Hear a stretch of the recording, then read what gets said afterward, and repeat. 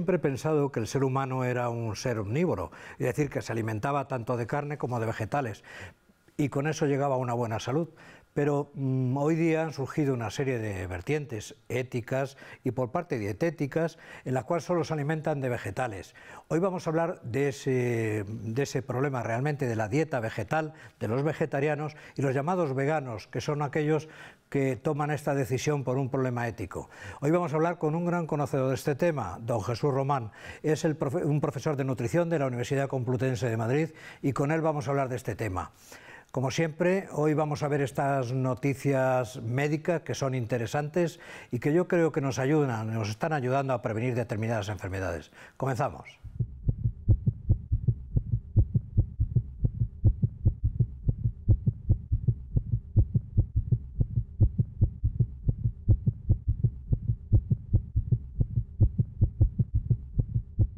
Relacionan los complementos de calcio con el riesgo de litiasis renal. Las personas con antecedentes de litiasis renal podían tener un riesgo más alto de recurrencia si utilizan complementos de calcio.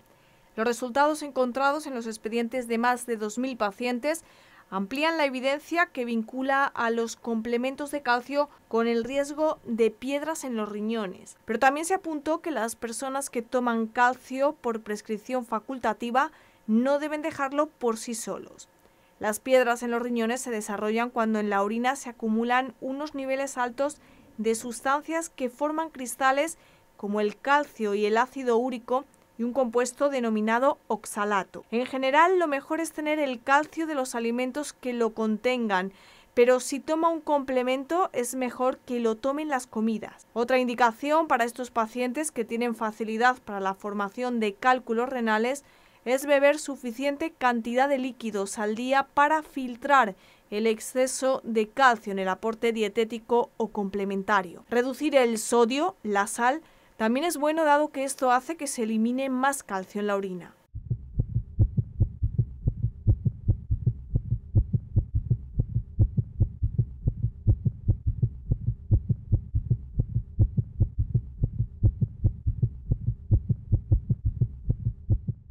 Anticuerpo promisorio como arma contra el VIH. Una terapia con un anticuerpo humano parece reducir los niveles del virus del VIH en sangre por lo menos un mes.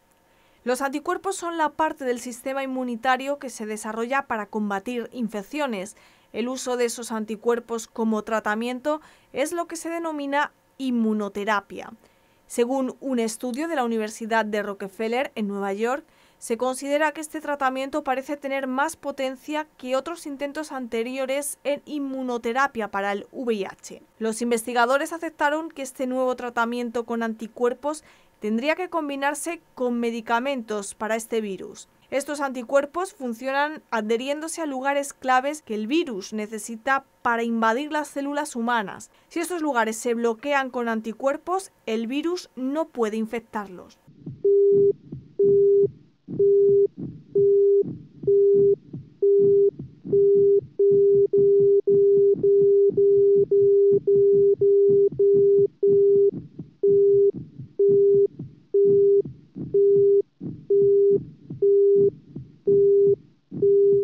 De siempre eh, se había pensado que el ser humano es un ser, omnívoro, es decir, que se alimenta tanto de vegetales como de productos cárnicos, eh, para dar una posibilidad de salud en completo a toda su capacidad de alimentación y a la vez eso, progresar en el estado de salud.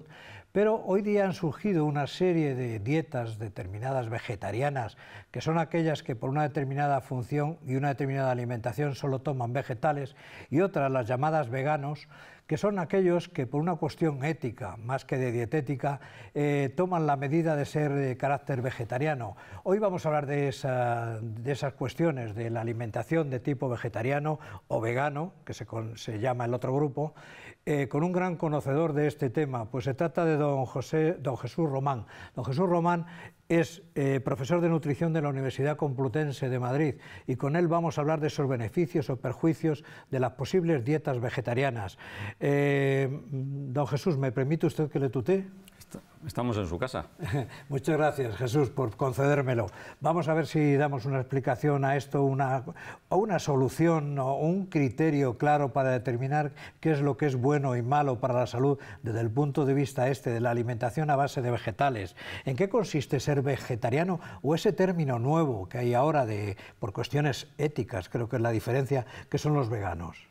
Hay que, hacer una importante distinción. la dieta vegetariana puede ser mm, amplia, es decir, es una dieta que podemos llamar ovo-lácteo vegetariana, es decir, que permite incluir huevos o lácteos, además de vegetales, con lo cual pues nutricionalmente no tiene ningún, ningún problema.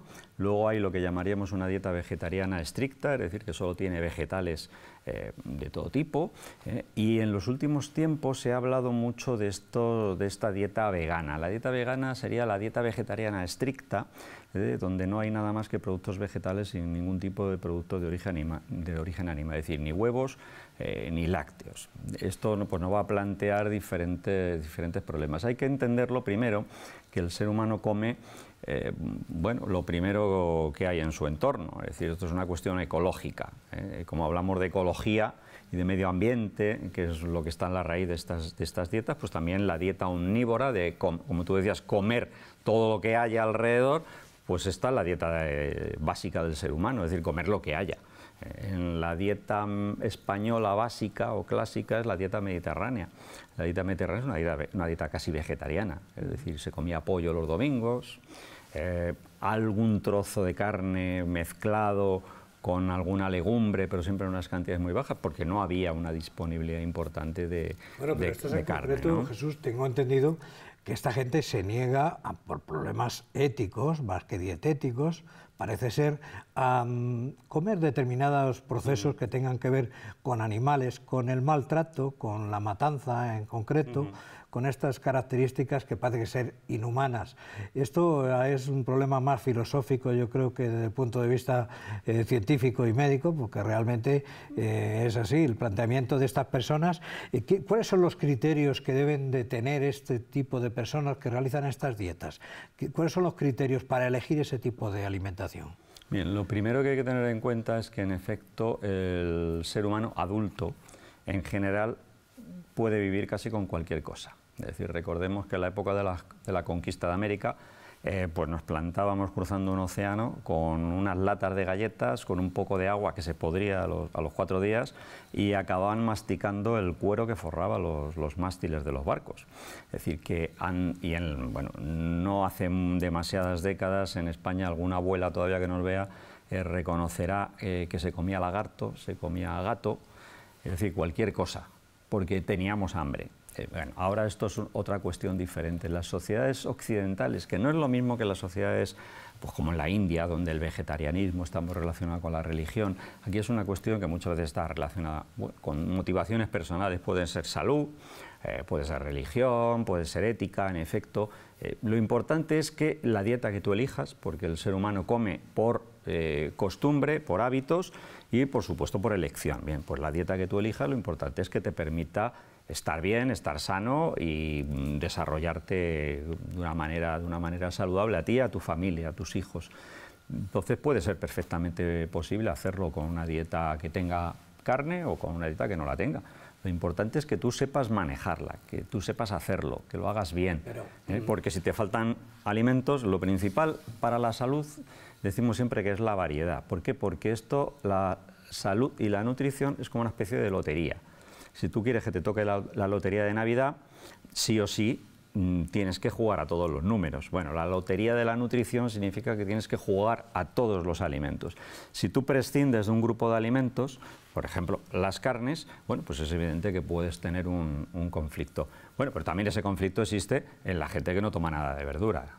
¿Eh? que también de esos conocemos muchos, ¿eh? que solo come carne, solo come eh, huevos, producto cárnico derivado y la verdura, como quien dice, ni la, ni, la toca. Es decir, que extremos mm, siempre hay.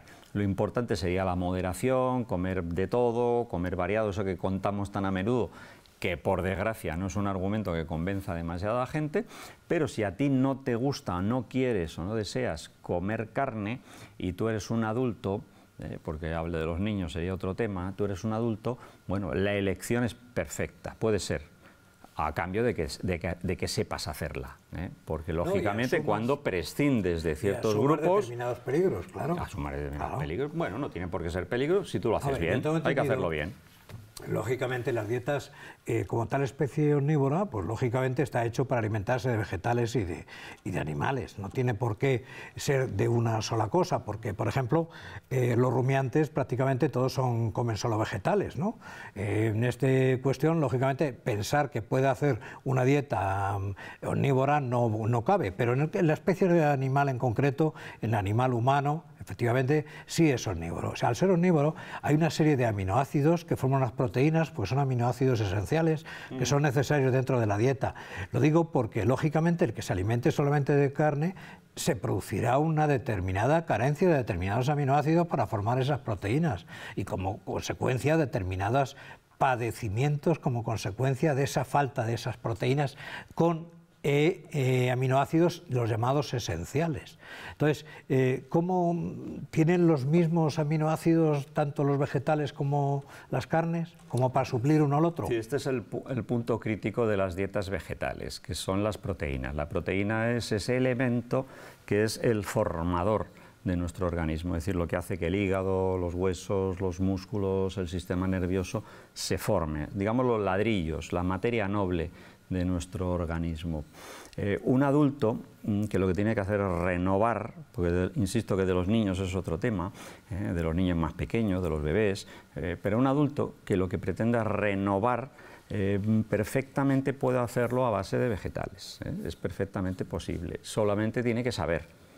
ahí está la dificultad, es decir, hay que saber, igual que bueno, pues cualquier persona puede obtener proteína suficiente a base de la carne o del pescado o de los huevos. Si tú eres solamente una persona que no consume nada más que vegetales, se complica. Se complica y tienes que saber. Tienes que saber sobre todo que tienes que mezclar pues, unas cantidades adecuadas de cereales y de legumbres. Esa mezcla eh, produce una proteína excelente, pero tienes que saber manejarla. Por ejemplo, el cocido... Pero no sería completa. Sí, sí, sí, perfectamente. El cocido madrileño de toda la vida, es decir, es un cocido donde tú tienes una legumbre, lo comes con pan, se complementan los aminoácidos y tienes una proteína prácticamente completa. y además... lleva gallina, lleva... Bueno, eso es una pequeña trampa.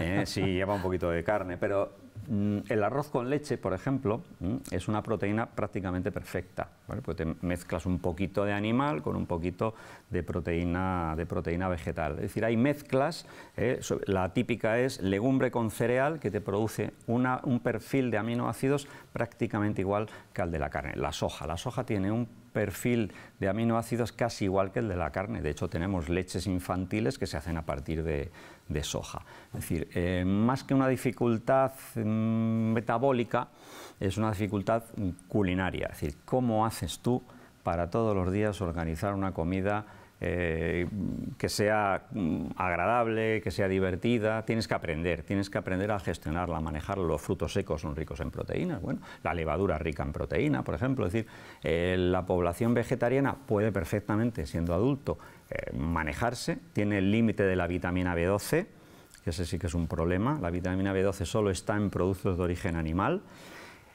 pero bueno, una pequeña cantidad de huevo o una pequeña cantidad de yogur, por ejemplo, es suficiente. ¿no?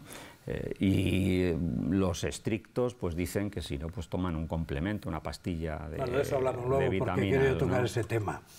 Eh, eh, hace pues un año o dos se habló de esa enfermedad, ¿no? de las vacas locas, la, la encefalitis espongiforme.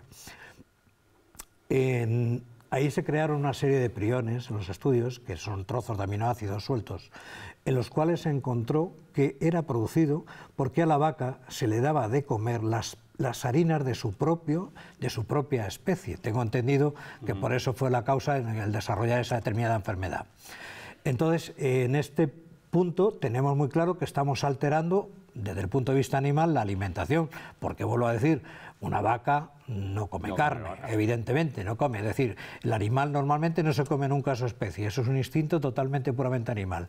Yo digo porque si la norma general, desde el principio y la hora en que empezamos a amamantar y la alimentación se va completando, tú has dicho muy bien, de todo lo que tiene alrededor, desde la prehistoria, con relación a su necesidad, por el estímulo de tener que comer para sobrevivir, no puedo entender que el limitar eso a una sola, a una sola dieta eh, vegetal pueda ser totalmente complementaria y no de una alteración priónica, por decirlo así, como puede ocurrir por la falta de, esos aminoácidos en concreto. mira, el, omnivorismo del ser humano es tremendamente cultural y sobre todo ecológico, es decir, se adapta al medio. Por ejemplo, los esquimales eh, solo comen carne o solo comen pescado. Es decir, porque en el Polo Norte no crecen demasiadas ni lechuga ni coliflores, eh, solo comen foca o pescado. Eh, los Masai, por ejemplo, es una población eh, que tienen a gala ser cazadores y solo comen carne y beben sangre de sus vacas, a las cuales ordeñan a base de un agujerito en una arteria y chupan la sangre directamente. Y sin embargo también hay poblaciones vegetarianas, muy ligadas a religión, como es el caso de la India, o, por deficiencia de, alimentos. Por ejemplo, en África es muy habitual el comedor de, de tubérculos o de otras verduras, porque no hay eh, producto de origen, de origen animal. Es decir, el producto de origen animal se relaciona en general en nuestra cultura con ricos. De hecho, en España nos está pasando. Es decir, tus abuelas, nuestras abuelas, comían muy poca carne, el pollo los domingos, bueno, y eso ya era una gran fiesta, porque es que no había. A medida que nos hicimos ricos, ¿qué hizo el español en los años 60, en los años 70? Comer carne. Y dejamos el producto de origen animal. De hecho, pues las legumbres han abandonado, el pan engorda, hemos ido dejando el producto vegetal porque no tenía sustancia eh, buscando lo que nuestras abuelas querían, que era el, lujo, que era la, carne, lo que más llena, porque la carne lo que sí es cierto que produce una saciedad digestiva, nuestro aparato digestivo se nota más lleno y nos, nos sacia más. ¿eh? El pescado nos llena menos. Nuestras madres o nuestras abuelas también decían que el pescado alimentaba poco porque se digiere más deprisa.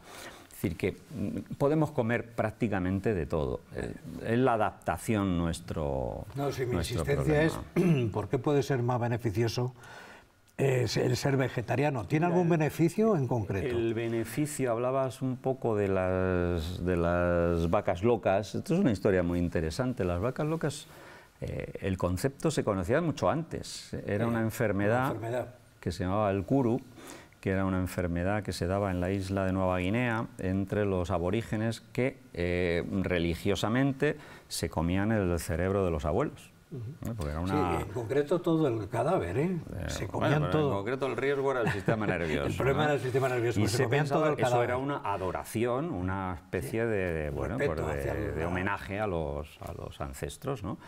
Y comer que la misma especie coma sistema nervioso, en efecto, siempre ha sido un riesgo. De hecho, en las ovejas en España, en Castilla-La Mancha, pues la enfermedad del torneo eh, se producía por comer por mm, cerebro, sistema nervioso de en, las ovejas. Eso era algo, era algo conocido. Lo que no se nos podía ocurrir que eso no pueda pasar al, ser humano. Eh, pero bueno, hemos sido capaces de hacer aberraciones como dar de comer vaca a las vacas, lo cual era una barbaridad que lo hemos, lo hemos pagado. En cuanto a la posibilidad de que nosotros pudiéramos comer otro tipo de, de comida de cualquier tipo, pues estamos dispuestos a adaptarnos. Piensa que la dieta mediterránea pues puede aceptar perfectamente el sushi, puede aceptar las algas y lo que nos pongan. ¿Eh? Pero eso es una alimentación variada en el sentido de productos vegetales y cárnicos, eso es distinto, desde mi punto de vista. De todas maneras, estas eh, dietas, eh, hablábamos de los veganos en concreto, este nuevo idea del punto de vista ético de no maltratar a los animales, no, es un criterio yo insisto en lo que he leído, que es un problema más ético que realmente dietético en necesidad de dieta, en concreto por algún, alguna, algún problema de alguna enfermedad.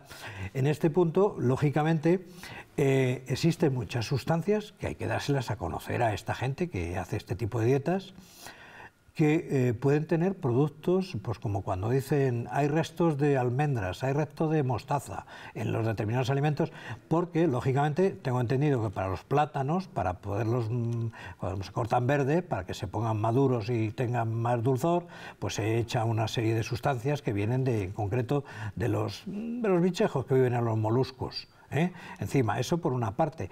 Y antes hablábamos de que esta gente además también refiere que toma una alimentación a base de determinadas vitaminas, porque el déficit de la B12 la B12 es la que forma la hemoglobina y en concreto la hemoglobina es la que transporta el oxígeno. Si no tenemos oxígeno nos hemos muerto. Es decir, son los que nos dan realmente la vida, esa necesidad. Ante ese déficit de la B12, quiero decir que eh, se toman cápsulas. Pero ¿y qué se hace la cápsula? Bueno, ya lo estamos complicando mucho.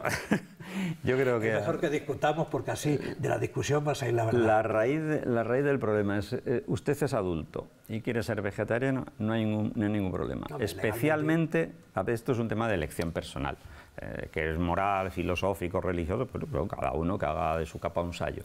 Lo cierto es nutricionalmente un ovo lácteo vegetariano, es decir, que tome leche, tome huevos, no hay ninguna deficiencia. Hay algunos que no toman huevos. el ovo lácteo vegetariano que no toma huevos, se toma leche, no tiene ningún problema. Cuando la restricción abarca al huevo y abarca la leche, la cosa se complica. Ah, se complica por las vitaminas, eh, por la B12, se complica por las proteínas.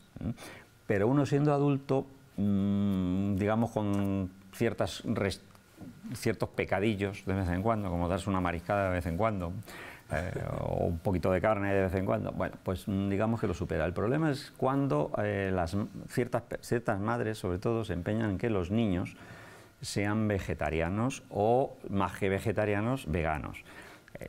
Eh, esto no sale en las cuentas, hay que, hay, hay que decirlo. Es decir, para que un niño tuviera la suficiente proteína, ya no hablamos de las vitaminas, solo de la proteína, suficiente proteína de vegetales tendría que ser como una vaca es decir, ingerir todos los días su propio peso en forma de hierba. Es decir, esto no, no sale las cuentas. Un niño en fase de crecimiento que además necesita no solo proteína, necesita mucho calcio, necesita mucho hierro, eh, no va a poder obtenerlo. El ser humano no está cualificado, su aparato digestivo, para obtener no solo las proteínas, sino el calcio, mm, las vitaminas del grupo B, el hierro, solo de vegetales, siendo un bebé. ¿eh? Insisto, ya uno con 40 años, si uno le apetece, en vez de eh, jamón de pata negra, le apetece comer coliflor, no hay, no hay absolutamente ningún bueno, yo me refería en este punto, cuando te he hablado de los veganos en concreto, cuando se tomaban las cápsulas con la vitamina B12 o las reconstituyentes vitamínicos, lógicamente van rodeados de una cápsula y la cápsula es gelatina de vaca de lo que se hace. Es decir, que está camuflado un poquito ahí esa, esa tensión que tiene del punto vista ético y moral de llevar una dieta estricta, que esto lo deben de conocer, que hay productos que no. Hablábamos de, hablábamos de que en el caso de los niños, lógicamente, son los seres más indefensos creo que somos mm, los que las personas que estamos entre medias y conocemos los problemas somos los que tenemos que insistir en este sentido en defensa de esas criaturas. ¿Existe alguna forma legal de poder, algún punto legal o alguna norma que se pueda exigir a los padres que sus hijos, aunque ellos lo sean, los hijos no sean veganos, porque ha habido casos con resultados catastróficos, claro. ¿Existe alguna norma legal en España? Bueno, en España, en todos los países euro desarrollados, la normativa legal lo que establece es que los padres tienen la obligación de velar por la, por la salud de sus hijos. A partir de ahí, eh, bueno, si lo mataras de hambre o lo tuvieras desnutrido, pues lógicamente cualquier juez pudiera intervenir. Hay que decir eh, que aunque son dietas de moda, lo cierto es que no se han producido escándalos en los periódicos, ni vemos noticias yo creo que todo el mundo mantiene, o es lo deseable, ¿no? que mantenga el sentido común, y aunque tú tengas una elección, bueno, pues el niño mm, que coma de todo, o razonablemente de todo, o sobre todo con el consejo de tu pediatra, que eso es lo más importante, bueno, y cuando ya tenga edad de decidir, pues que elija qué tipo de alimentación quiera llevar. Eh, muy bien, Jesús. Pues yo creo que nos has dado una visión muy objetiva, tú como gran conocedor de la nutrición, pues eh, hemos aprendido mucho de lo que nos has dicho y nos, nos queda un tema para mí muy interesante, es ese de los productos cárnicos y las normas de la OMS, estas que surgieron en el mes de octubre del año pasado. ¿Te parece hacemos un nuevo programa y hablamos de esa, de esa teoría, en qué se apoya la OMS y cuál es tu criterio de real o no realidad sobre eso, eh, esa incidencia en la producción de cáncer? No veo que vamos a pasar de la verdura a la, carne. Esto va a ser un menú completo. Por cierto, sí hay que decir que a favor de la dieta vegetal, eh, que el, por ejemplo el riesgo cardiovascular es menor. Esto en Estados Unidos se ha, estudiado con, poblaciones vegetarianas y la longevidad en el caso de los varones un poquito mayor, un ah. año, año y medio mayor. En las mujeres no se ha demostrado que tengan mayor longevidad los, ovo lácteo vegetarianos, ¿eh? comiendo, de todo. En el caso de los, que incluyas el huevo porque yo creo que eso es vital. En el caso de los varones hay un poquito menos de riesgo cardiovascular. Lo único que decía el que hizo el estudio que era una dieta un poco más aburrida, se, aburrían menos, pero bueno, eso ya... Muy bien Jesús, pues muchas gracias por haber venido al programa. Vamos a hablar de ese otro tema el próximo día, si te parece, ¿eh? y nos vemos aquí. Pues será un placer. Pues aquí estamos. Nos vemos. gracias Jesús, gracias.